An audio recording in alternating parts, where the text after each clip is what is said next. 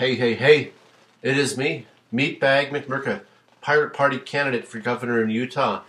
And uh, I have heard about this thing called the Tide Pod Challenge, and I would like to participate if it weren't for the fact that human biology is not meant to consume them.